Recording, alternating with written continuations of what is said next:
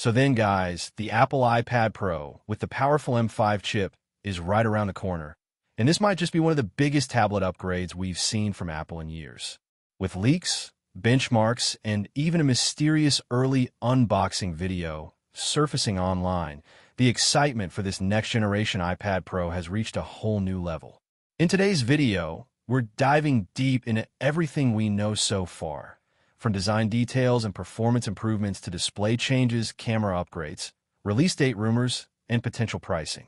Whether you're an artist, student, video editor, or someone who simply wants the most powerful tablet on Earth, this upcoming M5 iPad Pro could be the ultimate upgrade. Let's start with what we've seen from the most talked about leak, that unboxing video, which appeared online about a week ago. It showed what looked like a final production model of the iPad Pro M5, filmed by a Russian YouTuber. Even though Apple hasn't officially announced anything yet, this early look gave us plenty of information to analyze.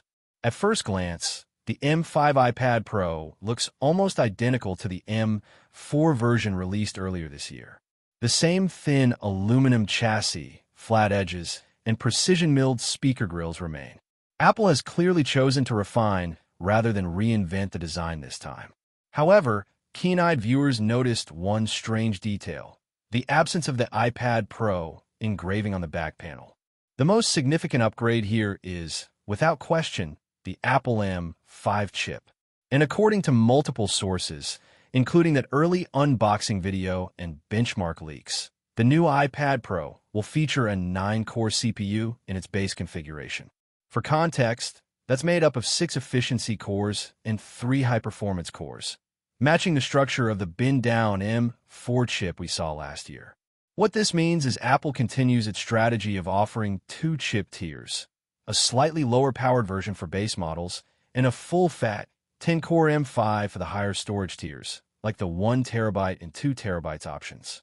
Now, why does that matter? Because even the entry-level M5 iPad Pro is expected to outperform every tablet on the market, including the M4 iPad Pro, which was already overkill for most users. According to Geekbench leaks, the CPU performance has improved by around 12%, but the GPU leap is the real story here, showing an estimated 36 to 40% increase in raw graphics power. That's an incredible jump for anyone using the iPad for 3D rendering, gaming, or creative software like Final Cut Pro, Logic Pro, and DaVinci Resolve.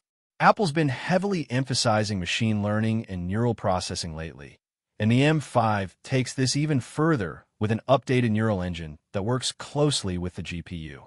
So, things like AI-powered photo editing, smart selection tools, live voice translation, and generative design tasks are going to feel smoother and faster than ever before. And here's another big win. The base model now includes 12 gigabytes of RAM, up from 8 gigabytes in the M4 model.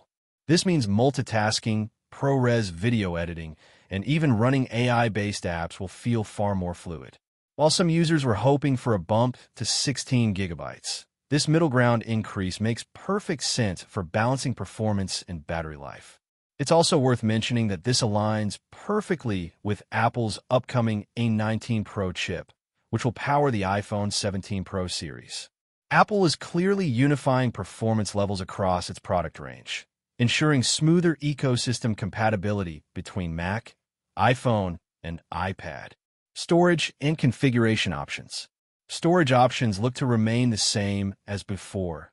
256 gigabytes as the baseline, with upgrades to 512 gigabytes, 1 terabyte, and 2 terabytes for professionals who need that extra room for large media libraries or editing projects. Display. OLED continues to shine. Let's move to the display, because that's an area where early leaks gave us mixed signals.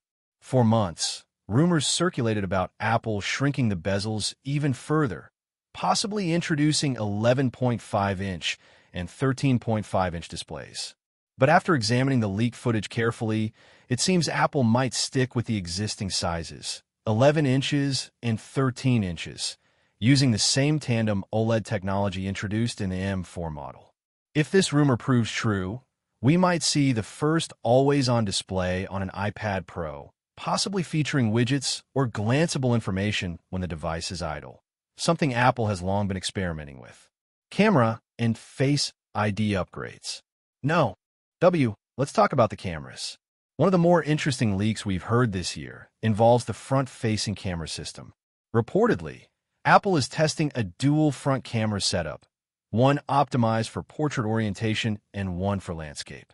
If true, this would finally solve the long-standing issue of awkward video call framing when holding the iPad horizontally. For creators and business users, it could mean FaceTime, Zoom, or Teams calls look perfectly centered, no matter how the iPad is positioned. As for the rear camera system, don't expect a massive redesign. It'll likely retain the 12MP wide camera and LiDAR scanner, but with updated sensors and image processing algorithms to improve low-light performance and computational depth mapping. And with the M5's enhanced neural engine, you can expect real-time AI photo enhancements, noise reduction, and improved subject tracking, all done instantly on device, without relying on the cloud. If Apple does end up adding that dual front camera, it will mark the most significant camera change on the iPad in years, and could hint at a new generation of AR capabilities coming down the line, especially with Vision OS integration in mind. Now, let's talk about software, because with iPad OS 19, or whatever Apple decides to call it, we're entering a new era of AI-assisted productivity. Apple has been teasing features like Apple Intelligence, Siri upgrades, and generative tools that work across devices. With the M5's expanded neural capabilities, you can expect new features like AI Image Assist that can colorize sketches or suggest layouts for designers. Even though the M4 model was already efficient, the M5 chip uses a second-generation 3-nanometer process, N3, which should deliver up to 20% better power efficiency. That means longer usage times, cooler performance under load, and less battery degradation over time.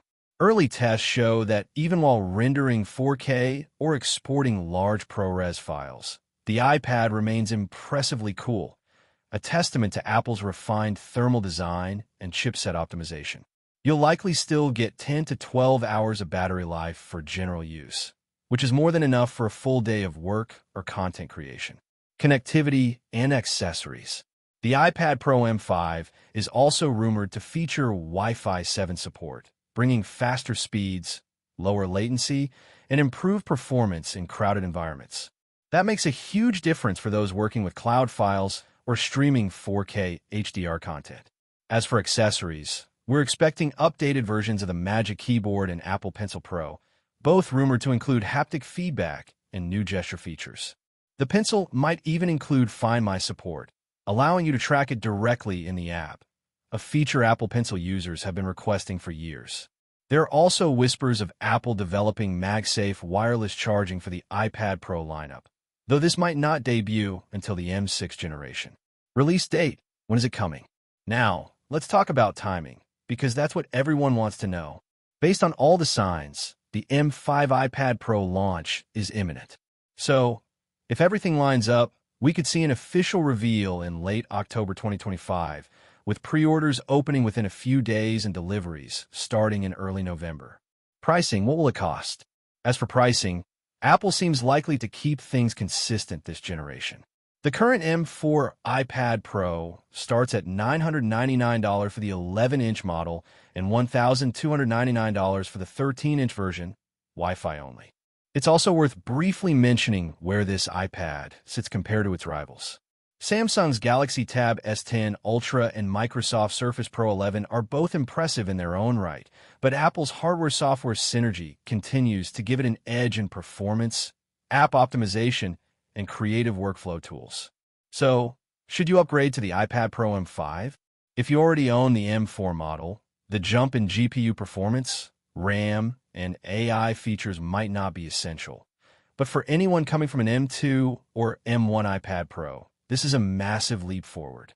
You'll get smoother performance, better multitasking, faster rendering times, and the full benefits of Apple's expanding AI ecosystem.